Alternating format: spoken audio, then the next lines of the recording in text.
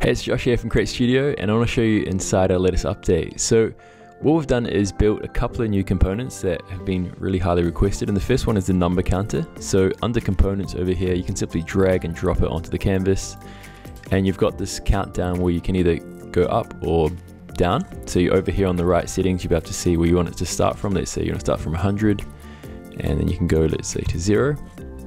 You can adjust the speed or the duration of this animation as well, like so and preview what that looks like. And you can also adjust the easing for this animation as well. So if you want it to start off fast and then to slow down, what you could do is some, choose like for example out and maybe smooth.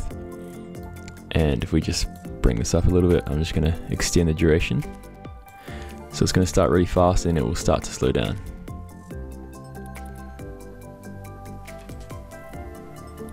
Like that.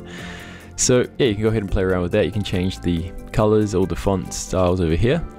And we've also got another component which is the random reveal. So if I just drag this one on over here, and this one enables you to go ahead and you can type your text over on the canvas. Let's say, for example, update, like this. And then you can go ahead and type in the random characters that you would like to show um, to reveal your actual text. So let's go here with something like this.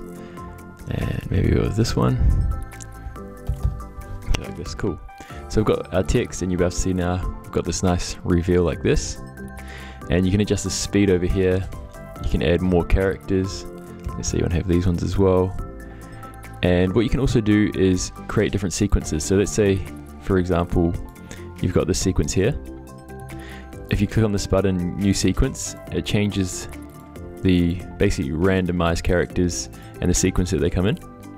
And you can also adjust the speed of this animation. So let's say you want to make it a bit slower, you can make it 60 for example like this.